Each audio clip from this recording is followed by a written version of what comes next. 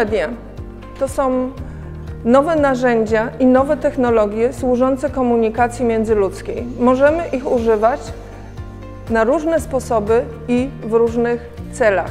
Tego uczymy w Polsko-Japońskiej Akademii Technik Komputerowych. Możemy stosować je zarówno do autoekspresji, wtedy mówimy o sztuce, jak i do spełnienia czyichś potrzeb komunikacyjnych i zaspokojenia lub rozwiązania jakichś problemów, wtedy mówimy o sztuce stosowanej.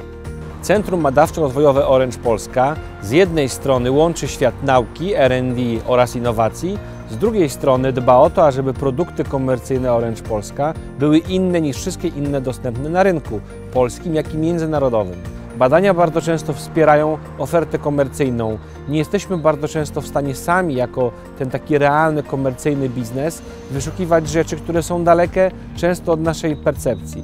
Współpraca taka niesie za sobą z jednej strony możliwość dla młodych ludzi odbycia praktycznej pracy w naszym ekosystemie, spotkania realnych produktów oraz komercyjnego świata, w którym kiedyś y, będą musieli znaleźć swoje miejsce. Dla nas jest to szansa, ażeby bezpośrednio szybko adoptować rzeczy, które pochodzą prosto z zadań w produktach, które sprzedajemy naszym klientom końcowym. Z Akademią od wielu lat prowadzimy współpracę i wymianę w zakresie praktyk studenckich, ale również projektów badawczych. W tym roku jesteśmy mocno zainteresowani szukaniem inspiracji y, związanej z projektowaniem interfejsów człowiek-maszyna. Y, jeżeli chodzi o efekty to, i oczekiwania, to y, przede wszystkim inspirowanie się pomysłami ze świata akademickiego, pomysłami, które możemy użyć w pracy, w docieraniu do klientów, w marketingu, y, w projektowaniu różnych form interakcji z naszymi klientami. W kilku słowach mm, spotkanie się świata biznesu i świata akademickiego, wzajemna inspiracja. Dzisiejsza konferencja była świetną okazją do zaprezentowania projektu Imagine with Orange prowadzonego w ramach otwartych innowacji Orange. E, jest to platforma społecznościowa do zbierania, komentowania i oceniania pomysłów w ramach prowadzonych kampanii tematycznych. Serdecznie zapraszaliśmy dzisiaj wszystkich studentów, aby czynnie uczestniczyli w każdej z kampanii i aby prezentowali swoje najnowsze rozwiązania w każdej z tych kampanii. Rzeczywistość wirtualna sama w sobie nie niesie z żadnej nowej wiedzy, czy też nie jest jakąś technologią przełomową. To, co rewolucyjnego jest w technologii rzeczywistości wirtualnej, to możliwość otwarcia umysłów i przełamania stereotypów na temat myślenia i tworzenia zawartości gier, programów i aplikacji dla biznesu. Żyjemy obecnie w dość niezwykłych czasach, gdzie informatyka przenika się ze sztuką na porządku dziennym. Pomyślmy chociażby o uczeniu maszynowym. Jak to działa?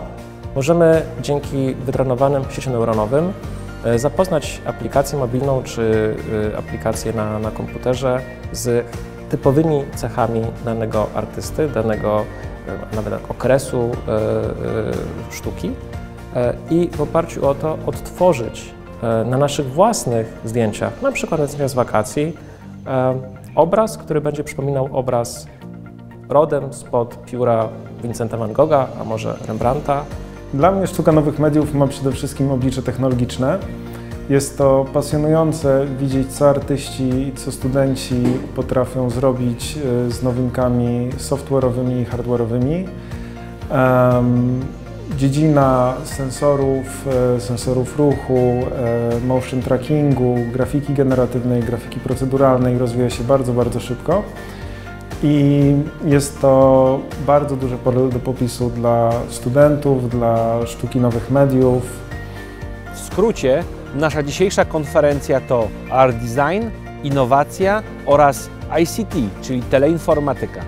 Tego rodzaju spotkania służą wymianie informacji i wiedzy na temat tego, co e, dzieje się w uczelni, czego kształcimy i jakie są potrzeby e, dużej korporacji, e, która tę wiedzę będzie stosowała do swoich potrzeb rynkowych.